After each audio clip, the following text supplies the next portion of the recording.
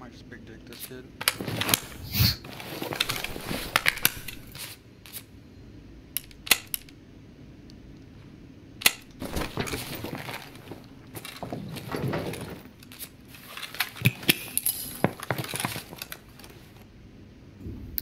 I kinda wanna wear a face shield so I don't get fucking tapped fucking TTs.